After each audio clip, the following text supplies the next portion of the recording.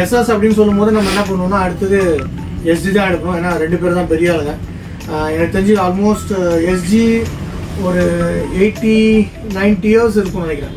அப்ராக்ஸாக சொல்லணும்னா ninety years but அப்ரேட்டாக சொல்லணும்னா எயிட்டி நைன் இயர்ஸ் முன்னாடி ஸ்டார்ட் பண்ணதுன்னு நினைக்கிறேன். நாட் ஷுர் ஸோ இது வந்து பார்த்தீங்கன்னா ஆர்எஸ்டி செலக்ட் அப்படின்ற ஒரு பேட்டு இதுலேயும் பார்த்தீங்கன்னா ஒன்று ரெண்டு மூணு நாலு அஞ்சு ஆறு ஏழு எட்டு. ஆல்மோஸ்ட் ஏழு ஏழு இருக்கா? So almost six sorry six grains இருக்குது இந்த பேட்டும் ரொம்ப நல்ல பேட்டு ரொம்ப uh, பழைய uh, பழைய ஆளுங்க ரொம்ப நல்லா ஆடுவாங்க.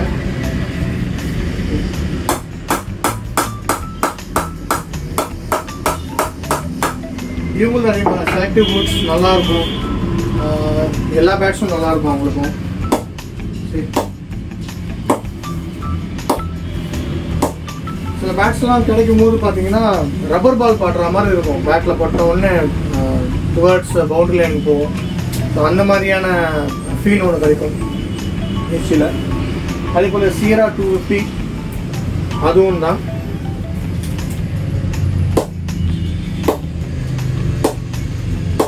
எஸ்ஜியை பொறுத்த வரைக்கும் காஸ்ட் மேலே போக போக பேட்டோட பெர்ஃபார்மன்ஸ்லாம் வேற லெவலில் இருக்கும் அதெல்லாம். இந்த மாதிரி கிடச்சதுன்னா பேட் கிடச்சிச்சுன்னா எல்லாமே ஆடலாம். அதே போல் எஸ்எஸ்லேயும் அதே தான் ரேஞ்ச் மேலே போக போக போக போக உங்களுக்கு அதோட கம்ஃபர்ட் எப்படி இருக்குன்றதை நீங்களே பார்க்கலாம். ஸோ இது எஸ்ஜியோட சீரா டூ ஃபிஃப்டி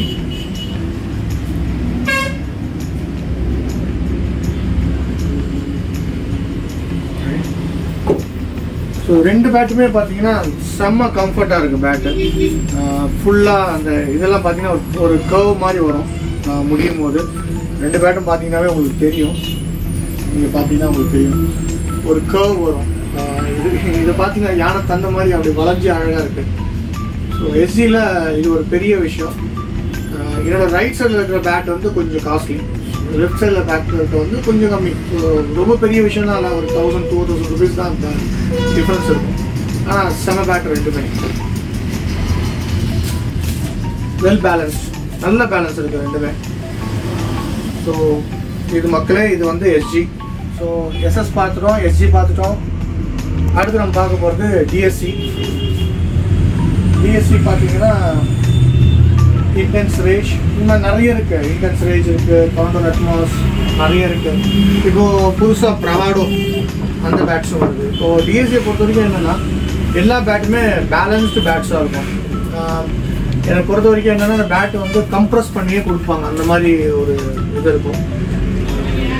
அந்த மாதிரி ஒரு ஜோன் கம்ஃபர்ட் ஜோனில் அந்த பேட்ஸ் இருக்கும். நம்ம எந்த பிளேயர்ஸுமே வந்து ஈஸியாக ஆடலாம். அந்த மாதிரியான ஒரு பேட் இது.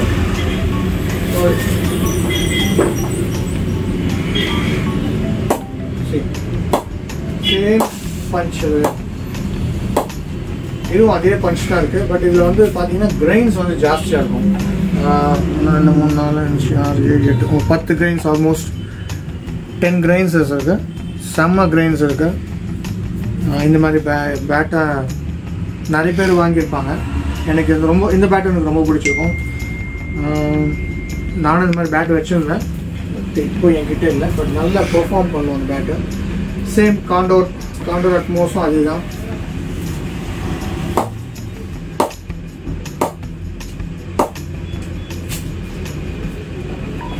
இந்த பேட்டு பார்த்தீங்கன்னா இது வெல் பேலன்ஸ்டு பேட்டு இதுவும் ரொம்ப நல்லாயிருக்கும் அந்த ரெண்டு பேட்டுமே